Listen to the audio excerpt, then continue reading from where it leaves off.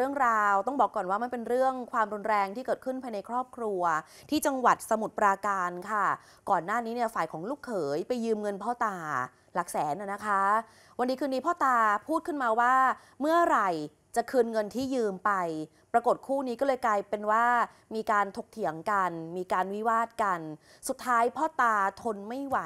ไปคว้าเอาปืนยิงใส่ลูกเขย เสียชีวิตนะคะ ถึงแม้ว่าในภาพจะเห็นว่าเจ้าหน้าที่พยายามเข้ามาช่วยกันปั๊มหัวใจแล้วก็ตาม แต่เจ้าตัวเสียชีวิตค่ะ เจ้าหน้าที่เร่งช่วยเหลือในไปอายุ 54 ปี ถูกยิงด้วยอาวุธปืนนะคะ เข้าร่างกายถึง 20 รู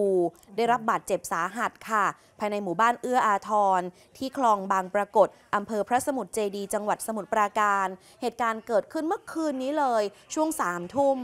แต่สุดท้ายไม่เป็นผลนะคะ จ้าตัวเสียชีวิตในเวลาต่อมา คนก่อเหตุชื่อว่าในพริ้ง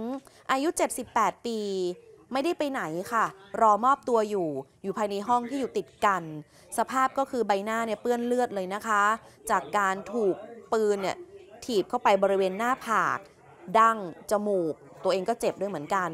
นอกจากนี้มีอาวุธปืนลูกซองแบบไทยประดิษฐ์ วางอยู่หน้าห้องน้ำข้างในมีปลอกกระสุนปืนที่ยิงแล้วนะคะ คาลำกล้องอยู่หนึ่งปลอกตำรวจเก็บทั้งหมดเป็นหลักฐาน ก่อนนำตัวไปสอบที่สถานีตำรวจ ในพริ้งเนี่ยให้การบอกว่า กระผมเนี่ยเป็นพ่อตาของผู้เสียชีวิตเองแหละ มีอาชีพทำไร่ทำนาอยู่ที่เพชรบูรณ์ ก่อนที่ภรรยาเนี่ยเสียชีวิตลงเมื่อ 6-7 ปีก่อน ลูกสาวกับลูกเขย ก็เลยชวนมาอยู่ด้วยกันที่นี่ จะได้มาช่วยเลี้ยงหลานด้วย จากนั้นค่ะช่วงปีใหม่ที่ผ่านมานี้เอง ลูกสาวมาขอยืมเงิน2 0 0แสนเอาไปให้ลูกเขย เอาไปจ่ายค่างวดรถค่ะเป็นรถตู้ที่ดาวมา เพื่อเอามาวิ่งแกร็บก็เลยนำเงินที่ได้จากการขายข้าว แล้วก็เป็นเงินที่เก็บออมเนี่ยเอามาให้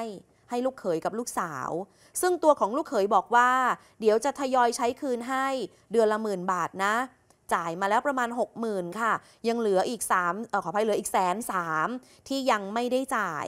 จากนั้นสิงหาคมเนี่ยตัวของผู้เสียชีวิต หยุดจ่ายเงินไป หยุดคืนเงินให้ อ้างว่ารถเสียบ้าง ต้องเอาเงินไปซ่อมรถบ้าง ไม่มีงานไม่ได้วิ่งรถบ้าง แต่เขาบอกว่าทำไมถึงมีรถ เพิ่มมาอีก 2-3 คัน แต่กลับไม่มาใช้เงินพ่อตาค่ะพอทวงถามเขาก็ยังปฏิเสธมาโดยตลอด เก็บความแค้นนี้มาค่ะ เพราะว่าทวงเงินไม่ได้ เอาเงินเนี่ยไป ก็เลยใช้ปืนนะคะที่ซื้อมาจากพื้นที่เชียงใหม่ พ่อตาบอกนะ ซื้อมาตั้งแต่ปี 2518 ตอนนั้นราคา 300 บาท เก็บเอาไว้เพื่อจะใช้ป้องกันตัวช่วงทำนาเลี้ยงควาย ปรากฏว่าไม่ได้ใช้เพื่อป้องกันตัวแบบนั้นแล้วนะคะ มามีปากเสียงทะเลาะกับลูกเขย แล้วโมโหจากความแค้นที่เก็บสะสมมานาน ใช้ปืนกระบอกนี้ยิงลูกเขยจนเสียชีวิต แต่ก็ไม่ได้หนีไปไหนค่ะ ตั้งใจรอ รอมอบตัวกับตำรวจ ตอนนี้ตำรวจก็แจ้งข้อหานะคะฆ่าคนตายโดยเจตนา แล้วก็นำตัวส่งดำเนินคดีตามกฎหมายต่อไปค่ะ